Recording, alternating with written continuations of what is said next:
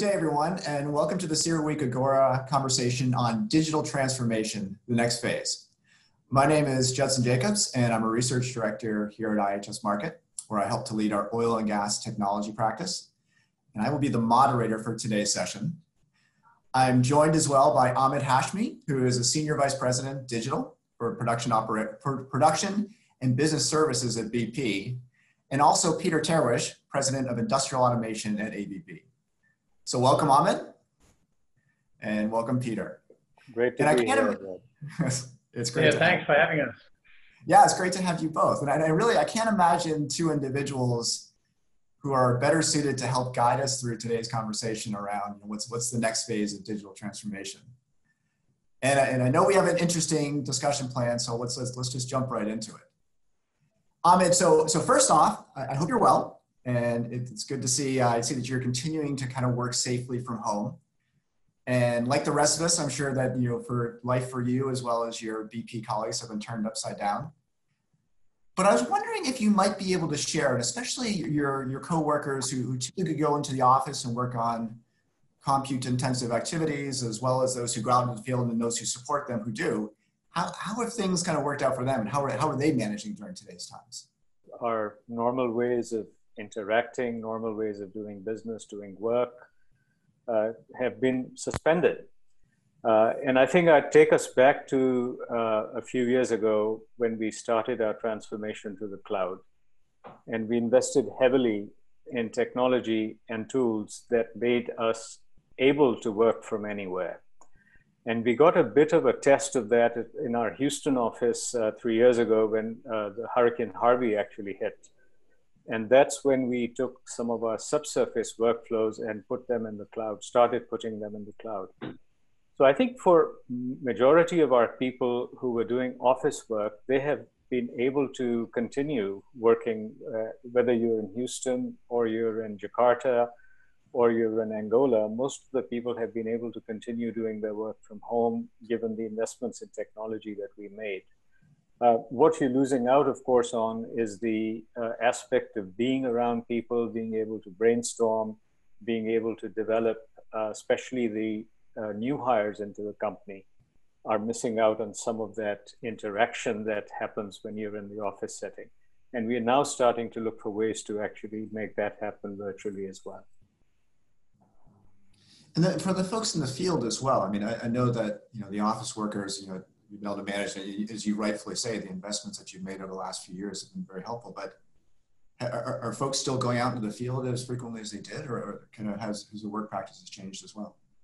Office workers are not going out to the field as frequently, and of course, the you know you, you have to feel for our frontline workers who are actually going through much more uh, rigorous you know testing regimes and longer uh, stays out in the fields so those are the individuals who are actually carrying the day. People in the offices are having to work remotely, and in many cases, they are actually able to interact with the field uh, personnel right from the uh, home offices that they're working from. So again, telecommunications connectivity is really uh, helping us keep people connected up. Peter, of course, you're managing additional complexity. You have to obviously um, continue to support you, your workers, but also you're, you're continuing to serve your, your customers as well. Has how you're doing that, has that changed at all over the last few months or is it still kind of business as usual? Yeah, I think the change is most easily appreciated if we look uh, 10 years back in the first place. Imagine the current crisis hitting the world uh, with the technology we had at our hands 10 years ago. I think uh, much of this uh, cloud enabled work from home model wouldn't actually be possible. Um, and that's true not only for office workers, but really um, if we look at uh, what we've developed quite successfully over the last couple of years is a model that we call collaborative operations, um, which is not just connecting equipment remotely um, so that we have remote access for, for experts to infrastructure, but that we basically connect also the people, the people who are at site uh, out on the rig, um, for instance, um, and the people with deep domain expertise that may be located somewhere completely differently. And, and then through a combination of algorithms and teaming up people, all underpinned by uh, connectivity, by cloud compute where that is necessary, um, enable us to provide expertise locally, even without the ability to actually go to site in, in the same way. So I think that's making a massive change. The technology has progressed very clearly uh, just in the last couple of quarters, but I think uh, you most easily picture uh, the difference technology is making here um, by just thinking, what if we only had the technology from 10 years ago? And I think we'd be in a much harder place. So I think technology, and especially di- digital technology, is marking the difference between handling a crisis and seeing that crisis turn into an outright catastrophe. So would it be fair to say that the, the events over the last few months are, are accelerating a trend that, that's already underway? And this is kind of, if anything, it's, it's you know, never let a crisis go to waste, but is, is this allowing you to kind of shift to this new way of working even more rapidly? And do you see yourselves ever going back to the old ways? Look, I, I, think first of all, allowing is uh, probably a nice word for saying in some situations forcing different ways of working because simply because of the mobility constraints, uh, people who used to be able to go to site cannot, and, and that's both our customers' people as well as our own uh, people. So it's, it's basically necessity that's uh, the mother of invention. The good thing here is the technologies are there but uh, I guess the oil and gas industries, if I compare them uh, relative to some other industries, previously didn't have a strong forcing function to actually move technology adoption further. And uh, with the current situation at hand, the combination of COVID and the mobility constraints that it brings with it, um, and, and the distancing um, imperative that comes with it, and, and then the lower oil price, which is kind of the cost pressures, the lower for longer that we've experienced uh, in, in earlier down cycles before. I think those pressures together actually drive technology adoption. I'm not sure that everything will stay exactly the way it is right now. There will be further evolution. A part of it will be a bit of a pendulum. Ahmed was already saying the personal people dimension side is very important in this also. But I do think that uh, when we look back at this in a couple of years' time, um, we will say that this crisis has actually been a, a, real catalyst for the adoption of digital technologies in operations. It's really, it's really interesting, you know, kind of building off what you just said, Peter, and, and I know Ahmed alluded to this when, you know, talking about some of the investments that have been made over the last few years.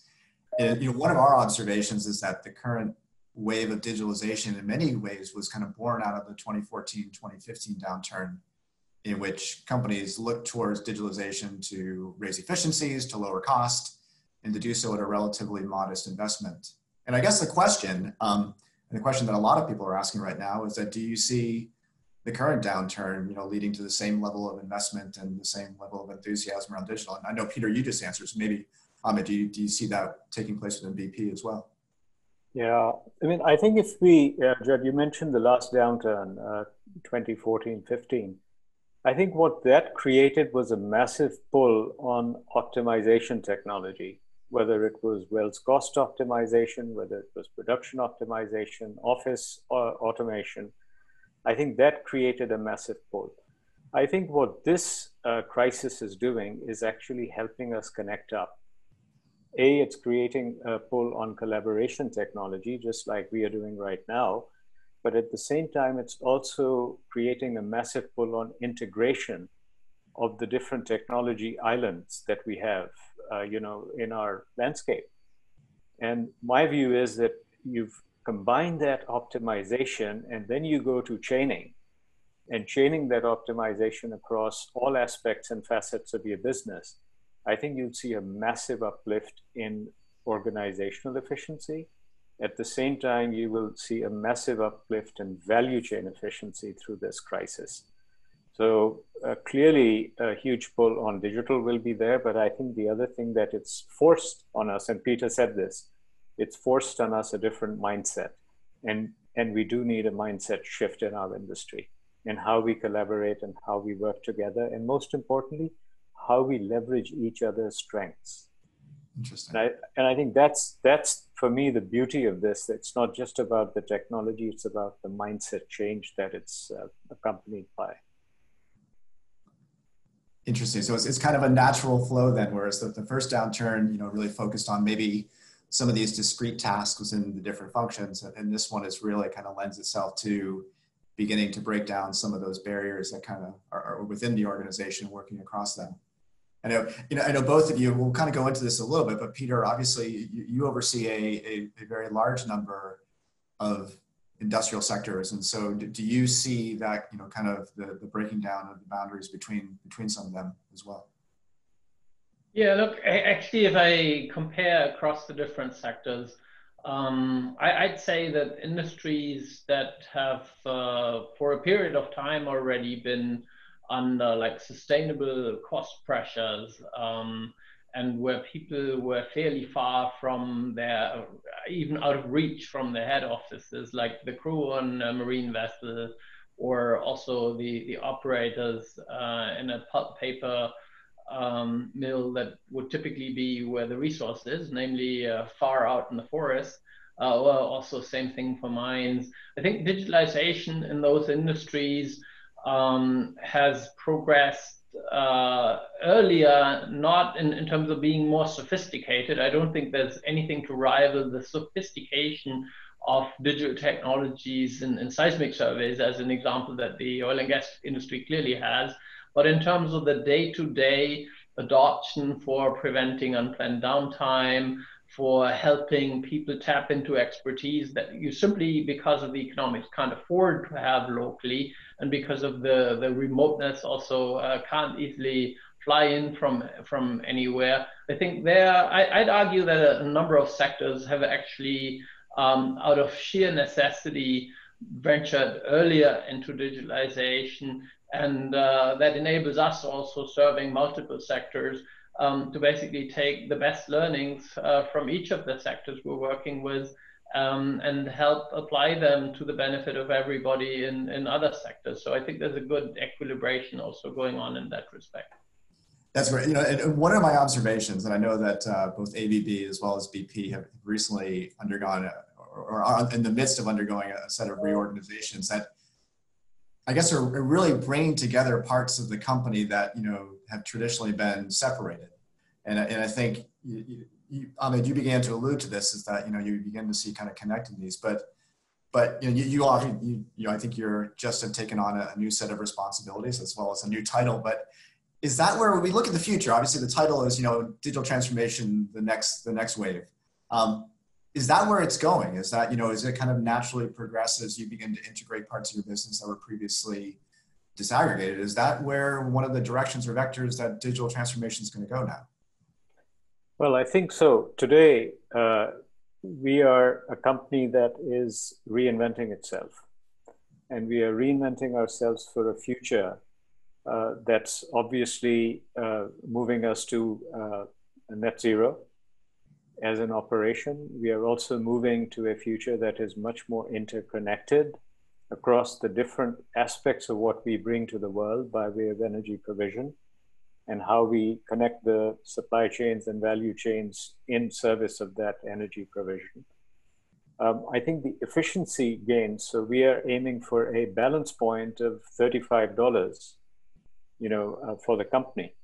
Uh, that will require a transformation of how we actually uh, work internally, but also how we interface with our supply chains. So all of this requires a massive investment in a human capital and upskilling of people uh, to be uh, act like digital natives alongside their domain expertise. And then secondly, it requires a different level of integration across uh, data. So I think the point about data standards and moving to a, uh, a space where we can easily exchange data with appropriate access controls across the industry and across our value chains. I think there's a lot of friction today in some of these spaces, which I expect the next phase of digital transformation to address. And if, if I may build on, on that, I, I think um, here clearly the energy industries are going through a digi- uh, uh, sorry, uh, through are going through an energy revolution, and the digital transformation is actually both an efficiency tool in, in terms of lowering operating costs and, and making it uh, simpler on the hydrocarbon side, but I'd argue it's also a very powerful integration tool when it comes to the non-hydrocarbon uh, forms of energy, uh, namely integrating electricity uh, or hydrogen um, closer into the overall energy transition that many, many of the energy industry companies are in. So I, I, think it's actually a powerful tool that is becoming available at just the right time uh, to support this massive uh, task that the uh, energy revolution certainly represents. Yeah, I think you know when we think about digitalization and digital transformation, a lot of it's you know the transparency that's enabled by the data and, and the seamless um, interactions. And, and, I guess that, that was one of my questions. And, and, obviously, you both have a a very broad um, kind of parts of the business across which you're working. Is that when you begin to look at digital transformation across the parts of the business and what you're overseeing now, is it and Peter, you went into a little bit around, you know, is it, you know, learnings that one, that one group can take from another. And I think, you know, Ahmed, you, you've mentioned the past, you know, kind of the mindset and the culture from ones, but, but it sounds like there's this operational synergies as well and operational kind of touch points that digitalization is going to allow. And it's not just, you know, kind of learnings, but it's also kind of these, you know, optim- optimization and operational synergies that we can achieve as well and I'll open it yeah. up to Peter. We're yeah, look, I, I think from from my perspective, I, would say that clearly there's uh, two types of value that digitalization can contribute. One is during the capital investment phase, where you're basically looking for uh, the optimization of cost, uh, schedule, and risk. Um, and basically the integration that Ahmed referred to already uh, helps you to uh, get a better grip and, and change the economics of your capital investment projects. Um, but then, second, for existing assets uh, or new ones that you then bring into uh, operation, the, the safety, productivity, energy efficiency that you need in order to uh, continuously improve how you're producing and to remain competitive, um, that is also enabled by digitalization as um, an in integration uh, function. I mean, we, we've seen many uh, surveys from different parts of the industry that were saying anywhere between 70 and 80% of the unplanned downtime is actually avoidable um, if uh, only you had the right information. Um, and clearly, uh, yes, you could, of course, do a lot of uh, preventive maintenance just by going out to all the assets all the time. But in order to have uh, a good economic viability, actually going to those assets that will need it um, and concentrating on where your effort will also have a return is basically a great way of doing something against unplanned downtime or underperformance of uh, producing assets um, without actually a lot of uh, additional effort. So, so this is, you know, so kind of where, where we're heading now, kind of the digital transformation, the next phase. I think we're kind of talking about kind of the, you're cutting down some of the, the, the functional boundaries. And, and, and Ahmed, you've really focused on the organization side of it, which I think is great. And I think, but are there, are there different ways as well? I mean, are, is the next wave, or are we looking at a new set of technologies? Are we looking at, you know, different ways that uh, more automated, more, you know, kind of autonomous ways of working, or are there, are there other vectors that we've missed here around kind of what the next wave is going to look like? I think there's a the two two different aspects. I think there's one aspect which is the uh, digital transformation is actually a people transformation, and we we have seen that. We Peter referenced it. I think when you equip people with data and you take some of the drudgery out of their day jobs, uh, you see amazing things. You see people working on things that they should be working on, which is actually improving the business day in, day out, and enjoying it. So I think there's a satisfaction aspect which leads to higher productivity, job satisfaction, and I'm a firm believer that digital is playing a huge role in making that happen. I think there's another aspect, which is the technology question. And just like you had the confluence of cloud and computing coming together, uh, and making data more vis uh, visually available. So there was a lot of visualization technology improvements in the last few years. I think the next big phase for us technology wise is going to be edge IoT, connecting that into the data stores and being able to have more intelligence on the edge. So you will actually see, uh, so it won't be all about the cloud. I think it will be a lot about the uh, intelligence at the edge. And the second thing is you will have increasingly machine learning effectively embedded in your day-to-day decision making. You won't even know it's machine learning because it's going to be guiding you in the background and it will be supporting your decision making and helping make the symbiosis between man and machine just grow. I, I think those are the things you will start seeing in the mainstream, uh, you know, in the next couple of years. Yeah, I can only uh, echo that very strongly. If, if we look already um, in some of the commercial projects uh, we've delivered in the last uh, couple of quarters, um, I, I, can, for instance, uh, say there was a, a, gas platform in the North Sea where we were able to reduce through advanced levels of automation, and you can call that towards autonomous operation, or you can just call that the next level of automation. I guess that's a, a question of how bold you want to be in your marketing speak.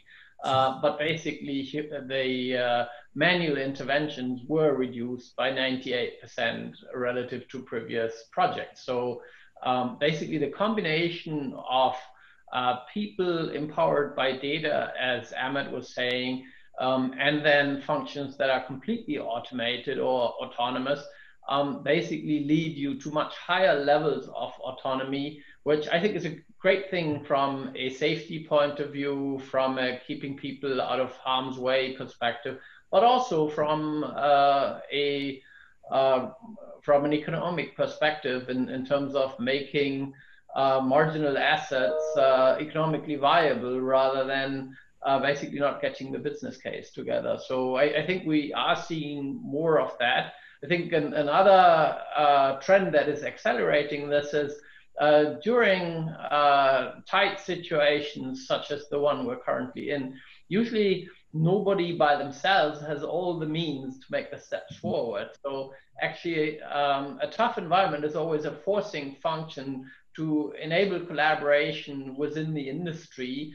Um, and, and that is between different uh, producers, but also between producers and, and automation and electrical and digital suppliers like ourselves um, so I think with that uh, pressure to perform together, because there's a joint interest in, in making uh, projects viable, um, I, I, think that is usually, uh, again, when we look when we look in hindsight, I think this will have been a, a great enabler also. Yeah, I think that level of integration I think is key, and you know, you actually you you raise a thought in my, my mind, Peter, in terms of you know we've touched upon a lot of really ambitious activities that, that both of your companies as well as the broader industry are, are, are, looking to pursue over the next bit with the next kind of phase of digitalization.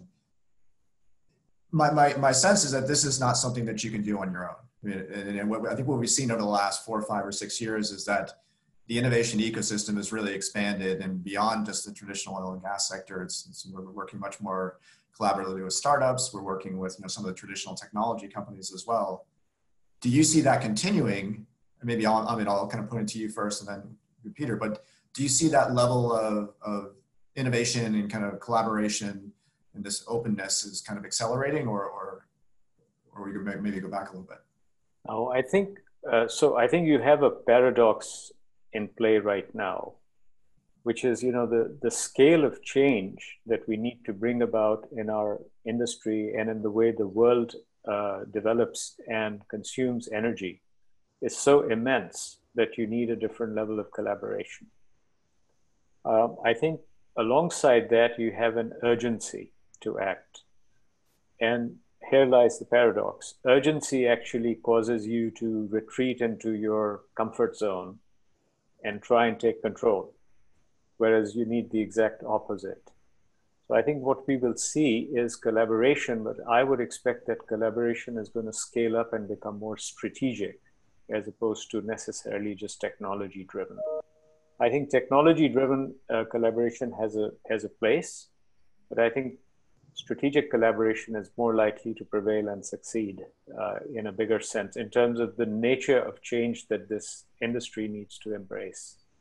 And that's where I'm, I'm betting that you will see, uh, you know, people uh, moving towards. Do you see that as well, Peter? And obviously, you, you, you get a sense to look, a chance to look at across multiple industrial sectors. Have you seen that level of strategic collaboration take place as well, or, or do you see foresee that taking place within oil and gas? And, yeah, yeah that, definitely. I, I, think we're, we're seeing it. Uh, first of all, if I start with just uh, the traditional hydrocarbon business, uh, the joint in- industry projects where capital investments uh, and, and technology investments are safer to make for players in the industry if shared uh, among uh, more than one of them and, and then involving suppliers also. I think that's a, a good model that is uh, uh, successful in helping advance technology in, in defined ways and in teaming up for pre-competitive work uh, to then as an industry compete on the basis of uh, a better technology stack that you've developed through this.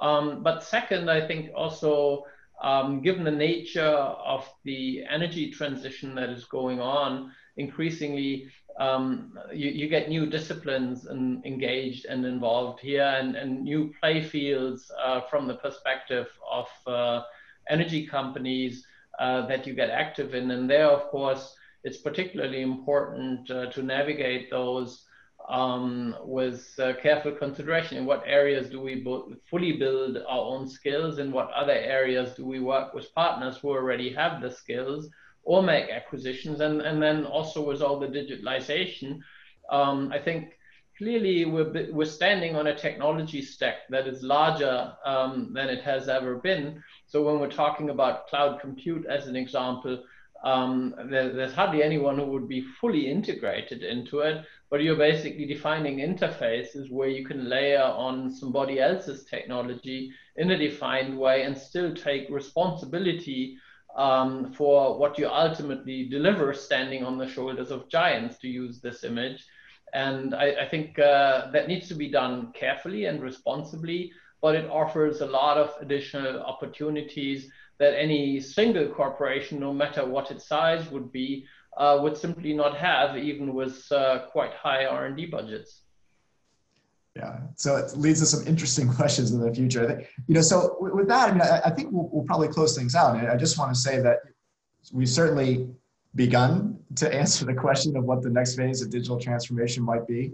Um, I don't think we have all the answers, but, but certainly I, th- I think you all have both Ahmed and Peter have kind of posed pointed us in, in some interesting directions around um, some technology directions it might go, um, some kind of collaborations and integrations, both within companies as well as you know between companies and and providers as well. So I think uh, you know let's let's get together here in the next couple of years and see how things are actually playing out. And with that, I, am going to go ahead and close things out. And thank you for joining us, joining us for the CERAWeek Agora conversation presented by IHS Markit, and we look forward to seeing you soon. Take care. Thank you. Thank you.